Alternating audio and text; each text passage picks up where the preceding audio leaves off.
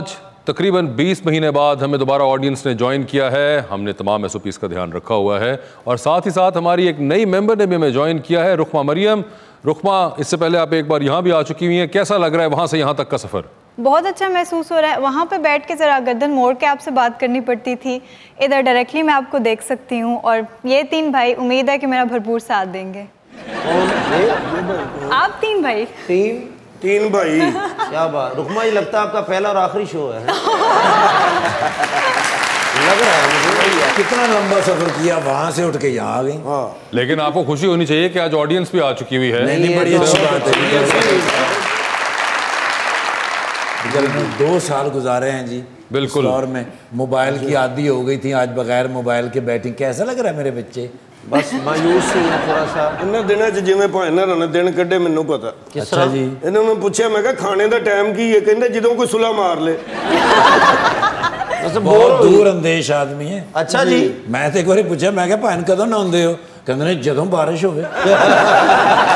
ਕਾਨਾ ਜੇ ਨਵਾਸੇ ਭਾਈ ਦਾ? ਅੱਛਾ ਜੀ। ਮੈਨੇ ਪੁੱਛਿਆ ਮੈਂ ਕਿਹਾ ਬੈਂਕ ਅਕਾਊਂਟ ਬਣਾਇਆ? ਕਹਿੰਦੇ ਨੇ ਇਹ ਤੇ ਗੂਗਲ ਅਕਾਊਂਟ ਹੀ ਬਣਾਇਆ। ਕਾਸੇ ਭਾਈ ਮੈਂ ਕਿਹਾ ਕਰਦੇ ਕੀ ਹੋ ਕਹਿੰਦੇ ਤੁਹਾਡੇ ਭਰਾਵਾਂ ਦੀਆਂ ਦੁਆਵਾਂ ਨਾਲ ਵਿਹਲੇ ਹੀ ਕਹਿੰਦੇ ਬੜੇ ਦੂਰ ਅੰਦੇਸ਼ ਆਦਮੀ ਮੈਂ ਕਿਹਾ ਭੈਣ ਮੁਬਾਰਕ ਹੋਵੇ ਸੁਣਿਆ ਮੋਟਰਸਾਈਕਲ ਲਿਆ ਕਹਿੰਦੇ ਨਹੀਂ ਨਹੀਂ ਹਲੇ ਤੇ ਹੈਲਮਟ ਲਿਆ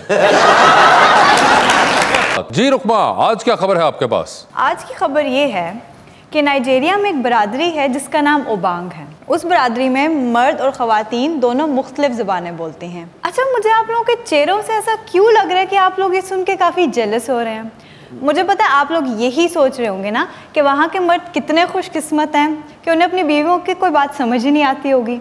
लेकिन मैं आपको ये बताती चलूँ कि बीवियाँ अपने शोहरों से किसी भी ज़बान में बात मनवाना अच्छी तरह से जानती हैं। तो बहुत तो बहुत बीवियों ने बोल ही जाना पर खामत खामोश भी होती है कह रहे हैं ये तुम्हारी गूँगी बदमाशी नहीं चलेगी। वो बहुत खसियानी सी हँसी हँसी है। अभी मंशा आप बताएँ आप कुछ कहना चाह रही हैं मुझे लगता है। ये तो शायद कुछ कहती ना नज़र से आँखों से सर बीवियों से काम करती अच्छा आप ऐसा नहीं करती आप बोलती कुछ नहीं आगे से। नहीं मुझे इतने बोलने की ज़रूरत नहीं पड़ती। वैसे ही इतने सहमे हुए तो वैसे ही अच्छे हैं और यूजली मेरा ये होता है कि मैं कम ही बोलती हूँ मतलब इतना नहीं बोलती ज़्यादा बातूनी वो है। बातूनी अगर मैं बोलूँ हम दोनों में से तो ज़्यादा बातूनी समझ जाते आज फिर मार पैनी। ऐसी बात नहीं है।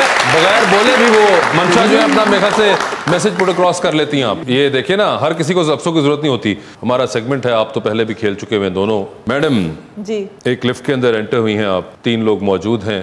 एक के साथ सेल्फी लेंगी एक को आप स्माइल देंगी कर्टसी में और एक को आप कहेंगी कि मेरे ख्याल से आपका फ्लोर आ गया है। ऑप्शंस आपके पास जो हैं वो हैं कुबरा खान सज्जल अली और सायरा यूसुफ। तो सेल्फी किसके साथ? मैं तीनों से ही ले लूँगी सेल्फी ये नहीं, क्या नहीं, एक से लीजिए वो। वो मुझसे क्यों लेना चाहेंगी सेल्फी क्योंकि आप इस वक्त शो में मेहमान है ना इसलिए। एक, एक से सेल्फी लोगे दो पीछे वैसे घुस जाएँगी लड़कियाँ कहाँ रहती हैं? हाँ, ये वैसे घुस जाती हैं किसी ज़्यादा लड़की क्वेश्चन ही गलत है? हाँ। क्यों? हाँ, क्योंकि ऐसा होता ही नहीं है कि तीन लड़कियाँ साथ हो तो कोई भी सेल्फी में ना हो। अगर सेल्फी लेनी होती है तो सब साथ होते हैं। चले वैसे बेहतर था कि आप ये कर लेती मगर अब मैं आपके लिए सवाल चेंज करने लगा हूँ। एक आपको कॉल आएगी जो कि आप फ़ौरन उठा लेंगी।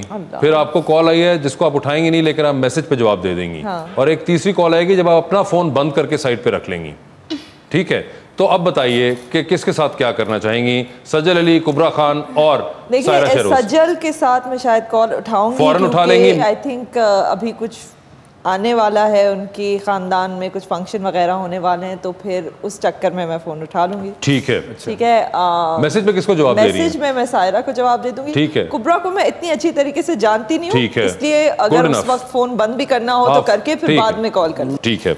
ये बताएँ मजबूरी के तहत तस्वीर बड़ी सी फ्रेम करा के घर में लगानी है किसका चेहरा देखना चाहेंगे उसके अंदर जो कि आपको रोज देखना पड़ेगा? ऑप्शन आपके पास जो है वो है डॉक्टर आमिर लियाकत और जनाब मौलाना फजल रहमान। जनरल नॉलेज का क्वेश्चन जनरल नॉलेज पे चली गई हैं वो। मुझे ये बताइए आप सुबह सिंध से ताल्लुक़ रखती हैं। सुबह सिंध के अंदर टोटल कितने अजला हैं? अजला क्या होता है? आगे दूसरे सवाल पर चलता हूँ मैं। ऑस्ट्रेलिया के कैपिटल का नाम बता दें। Canberra yes very few people get this right but she did Titanic पर जारी हैं। दो वीआईपी पास हैं एक अपना है दूसरे पे किसी और को साथ लेके जा सकती हैं। किसको टाइटैनिक पर अपने साथ लेके जाना चाहिए जो डूबने वाली है उसमें किसी को अपने साथ ले जाऊँगे। मतलब मैं भी मरूं आप भी मरें। नहीं आप तो बच ही जाएँगी ना लड़की बच गई थी। तो ऑप्शंस आपके पास जो हैं वो हैं जनाब उस्मान बुजदार और जनाब कायम अली शाह। अरे वाह वाह। दोनों में से किसी के साथ टाइटैनिक भी जाना जी। उस्मान बुजदार उस्मान बुजदार साहब होंगे वो। वाह वाह वाह। गाड़ी तो ड्राइव कर लेती होंगी। अवार्ड शो पे जा रही हैं। रेड कार्पेट के लिए अब तैयार हुई हुई हैं। आपकी गाड़ी में चार सीट्स बाकी हैं। कौन होंगी वो चार जो कि आपके साथ आपकी गाड़ी में जाएँगी? ऑप्शंस आपके पास हैं सनम सईद सोनिया हुसैन आयशा उमर माहिरा खान और सबा कमर। मतलब कि दो को कटाना है। एक को। किसी एक को डिक्की में डाल सकते हैं? हाँ। आपकी मर्ज़ी। आयशा को मैं डिक्की में डाल दूँगी। आयशा उमर को इन्होंने कहा है कि मैं साथ नहीं बैठाऊँगी मेन गाड़ी के अंदर। डिक्की में डालूँगी वो छोटी में डालेंगी। मजीद आपने। यानी कि छोटी मतलब क्या उसमें डालना क्या? वो पिटीट है। वो पटीट है तो डिग्गी में डाल दिया। तो अब जगह नहीं है ना आप छोड़ दें उनको वो खुद ही किसी तरह मैनेज कर लेंगे मगर आपने डिग्गी में जो आप ही कह रहे हैं कि किसी के पास मैंने तो कहा था चार गाड़ी में बिठानी है आपने डिग्गी का ऑप्शन खुद बीच में डाला। मेरा कोई कसूर नहीं है मैं ट्रैवल कर चुकी हूँ वैसे बचपन में डिक्की के अंदर। नहीं बचपन में किया था आपके ख्याल से ऐशोबर बचपन में चल रही है?